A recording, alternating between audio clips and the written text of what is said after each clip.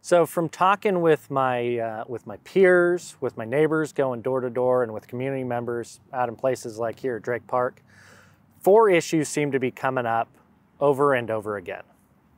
The first of those is the homeless issue that we've been facing that seems to have been increasing over the last two to three years, specifically since the most recent council took leadership.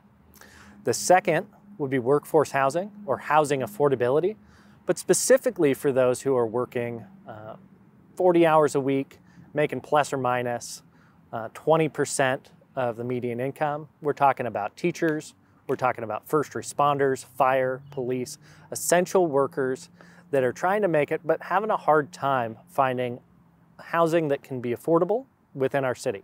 I think you should be able to live where you work if you're working a full-time job. Infrastructure is the next one that comes up regularly.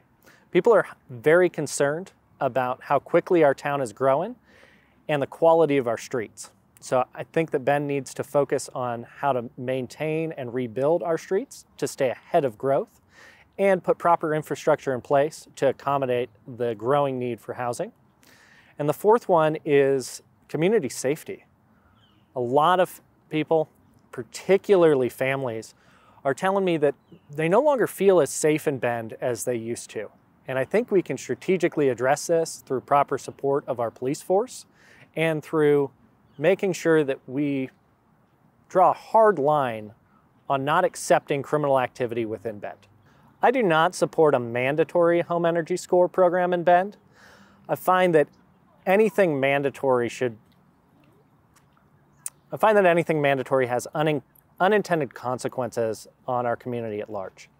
So when talking about a home energy score, particularly one that would be applied universally across all sales prices of homes, you're disproportionately affecting those in the lowest income brackets and those first time entering home ownership or selling less expensive homes. Anytime we talk about adding additional fees or regulations onto the purchase or sale of a home, we are decreasing housing affordability, increasing the cost, and not achieving the goals that we should be focused on. While I understand where someone would like to see a home energy score, education is better than mandation. Educate our community on the benefits of knowing the energy impact, but not requiring it for every sale. Many of our homes were built decades ago. We know that they're not cost efficient or energy efficient, or at least not as energy efficient as our more modern builds. Charging $750 or so in every one of those transactions doesn't increase knowledge, most buyers, most sellers going into those transactions know there's some downfalls, know there's some opportunities for where they could increase efficiency, but mandating a regulation like a home energy score does nothing to solve the problems on the efficiency of that home or the affordability of that home, and we're losing sight of what really matters. It's a great question. When asked what City Council should be doing to address cost and availability of housing, my response has been very consistent.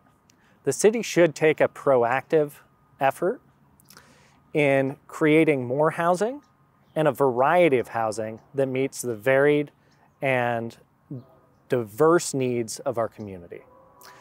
When we look at Bend as a whole, it is made up not just of a number of people, but individuals, each individual having their own set of needs and requirements in their housing. For some, that can be a small apartment, it could be a condo or a townhouse. They could be living in one side of a duplex or a triplex. Some of our residents really need a single family home or a little bit more elbow room, perhaps because of multi-generational living circumstances or large families or communal living. So it's important that our city recognizes the varying need for different housing types and looks at how to create all of those types of housing and not just density and infill. Often the question of uh, density comes up and the solution looks at our community members as merely a number. They think that if we pack as many homes as possible, as many doors as possible into a small demographic or geographic area, that we can achieve this housing affordability. That's not looking at the whole picture. Just using vertical growth through apartment complexes and high-rise buildings doesn't address the needs of our community as a whole and leaves a lot of people unrepresented. So when City Council addresses this as an issue, and it is an issue, we need to look at strategically expanding the UGB while filling in the land currently within the city limits, providing a diversity of houses that meets all of those needs.